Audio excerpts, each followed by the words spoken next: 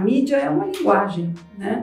Então, trabalhar educacionalmente com a criança no sentido dessa linguagem é um aspecto que pode ser muito desafiador e positivo, mas a gente precisa construir, não é uma coisa que está dada. A gente hoje está vendo, né, pelo uso não cuidado, não monitorado, não supervisionado, os efeitos colaterais adversos que a gente está tendo na saúde física e mental das crianças, e isso nos preocupa muito.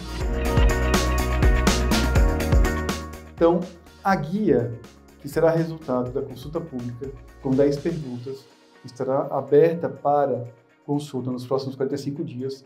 Ela poderá estabelecer a adoção no Brasil de parâmetros. Parâmetros que poderão ser adotados em pesquisas, em estudos, parâmetros que vão poder ser adotados para poder fazer referências de é, avaliação das políticas públicas que forem ser implementadas. Todos nós, para o trabalho, para o lazer, para tudo, a gente hoje está imerso no mundo digital. Então, você entrar no participa.gov e participar dessa consulta pública que vai orientar um guia sobre tempo de tela para as crianças é muito importante, traz a sua contribuição, é uma contribuição que você vai trazer para a nossa sociedade né, e para que a gente ajude a construir um mundo físico, digital, digital melhor para todas as crianças e adolescentes e para os futuros adultos na nossa sociedade.